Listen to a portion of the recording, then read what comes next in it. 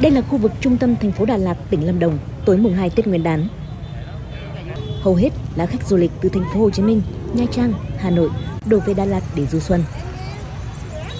Chợ đêm Đà Lạt mới hoạt động trở lại sau 7 tháng đóng cửa vì dịch Covid-19. Tối 2 tháng 2, du khách chen chân, nhích từng bước trong khu vực này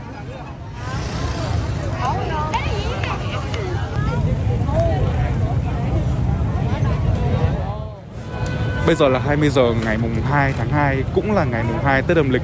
Nhưng mà lượng người đổ về trung tâm khu vực trung tâm thành phố Đà Lạt thì vô cùng là đông đúc và di chuyển thì cũng khá là khó khăn.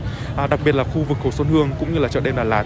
Và theo ghi nhận của phóng viên thì ngoài việc là người dân gặp một số khó khăn trong việc đi lại thì hàng quán um, cũng chật kín bàn. Và nếu như là không đặt trước thì người dân cũng như khách du lịch cũng rất là khó khăn để có thể kiếm được một chỗ để có thể ăn uống trong buổi tối ngày hôm nay.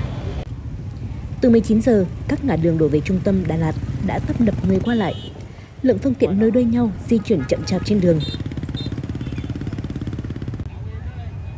Không chỉ xảy ra ùn ứ cục bộ, một số vụ va chạm giao thông cũng xảy ra ngay ở khu vực vòng xoay trung tâm do lượng người đổ về quá đông. Cảnh sát giao thông căng mình làm việc.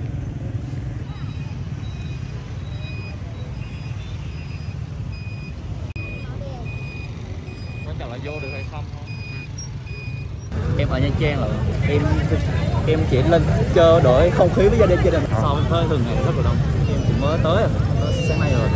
Cũng chưa đi đi đâu nhiều á bây giờ nó rất là ngột ngạt.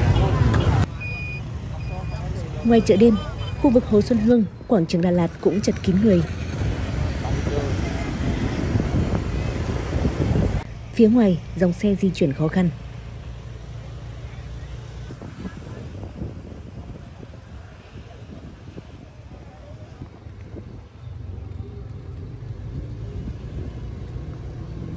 Để kiếm được quán ăn trong buổi tối mùng 2 Tết tại Đà Lạt cũng không hề dễ dàng. Nhóm của Thảo Uyên, 23 tuổi, gồm 4 người, phải đi đến con thứ tư mới có bàn ngồi. Hầu hết các quán đều không nhận khách mới nếu không đặt bàn trước. Dù phụ thu từ 20 đến 30%, các quán ăn vẫn chật kín bàn. À, tụi em đi tụi em đi nhiều quán tụi em đi từ khoảng 3 quán mà không có chỗ nào nhận được hết. Xong rồi thêm đó là tìm được một quán cuối cùng. Cái tưởng là tối nay phải về ăn mì gói rồi vùng hai mà mì gói. Khách du lịch lên rất nhiều họ có nhiều biển số xe lạ trên Đà Lạt này với lại là kẹt xe tùm lum la Tết Nguyên đán năm nay ghi nhận lượng khách du lịch đổ về Đà Lạt tăng đột biến so với năm ngoái.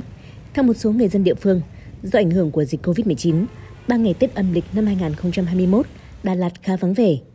Tuy nhiên, năm nay lượng khách đã tăng trở lại.